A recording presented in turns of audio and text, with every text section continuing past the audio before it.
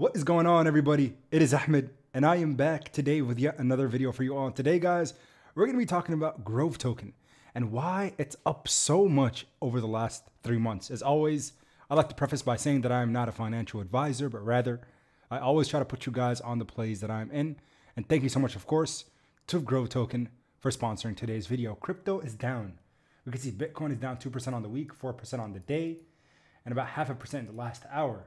Ethereum also down about half a percent. The market is looking bearish because, again, right now is a building phase, accumulation phase. We're trying to find a bottom. We're trying to figure out what's going to happen with the Federal Reserve here in the United States regarding the recession potential. And again, now we're finally seeing the pain from the pandemic money printing that occurred. But you could see there's Grove token here, which since May 11th, over the last few months, it has had an exceptional run up and specifically more so at the end of June, going into July, it's been literally just going on fire, more than 4xing over that period of time. So shortly after I made my video, and the reason is is right here, the press release that was announced on the 4th of July. Funny enough, there was a press release that was sent out from Grove Token after I mentioned in a previous video that they were going to be meeting with the Al Maktoum family in Dubai, the royal family. And after the meeting, Grove Token has become the first official partner with a member of the royal family. Family.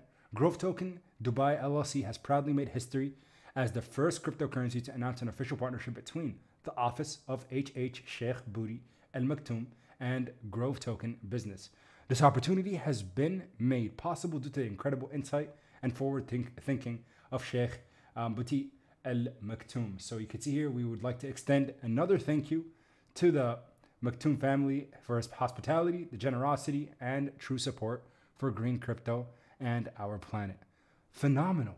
And since then, now the headquarters, that you saw John here sending out a tweet, the first two levels of our headquarters will be open to the public, with the first one being fully operational, hydroponic, and aeroponic farm, and the second being a showroom to showcase the latest technology that Grove Token is developing and working with. The farm will be used to display a module to sell to farmers from GVR, which is the token, of course, Grove.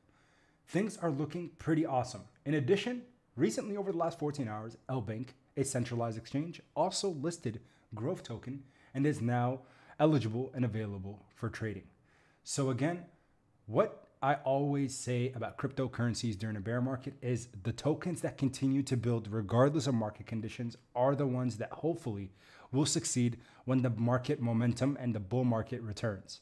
What they are doing is different. What they are proposing is different. It's something that is unique, it's special to this crypto.